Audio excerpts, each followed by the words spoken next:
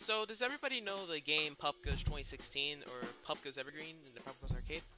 Well, yeah, everybody likes Popgoes. Well, I don't know. But I recently got done with the very cool and still working on the captions, but yeah, I'm about to release the Popgoes Short Season 1 collection. Whoa, that's so cool.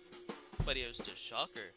It, I decided to release it or premiere it on July 1st, the same day as Pop Goes Shorts, um, whenever Short 1 was released.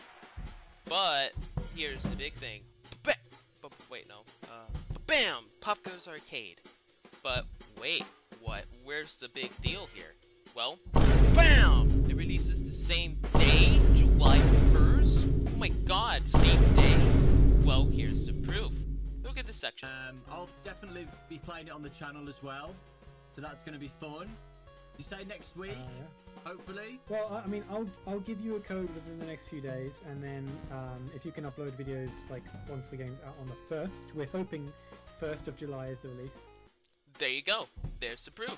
So, what's the big deal here, and what's the big, big what's the big thing? What's gonna, what do you, what do you mean, Daylen? If it's gonna come out on the same day? Well, here's the thing.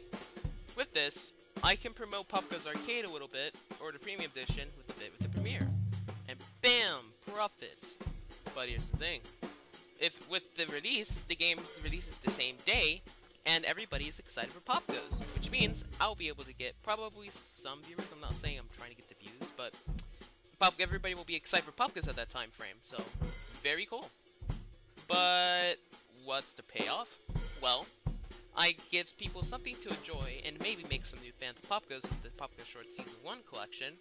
And with Pop Arcade, Kane gets new fans of Pop Arcade and Pop Evergreen and gets some sales on Pop Arcade Premium Edition. And with the Short Season 1 collection, I can support a little bit of Pop Arcade Premium Edition.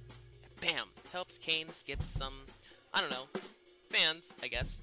So, I don't know if this is a good plan, but it may be. But is I don't do I know economy? No. Do I want the viewers? No. I'm just making something for people to enjoy. But will it work? Well, honestly, I don't know. I'm not really much of a business person, but um I don't know. I guess economy, I guess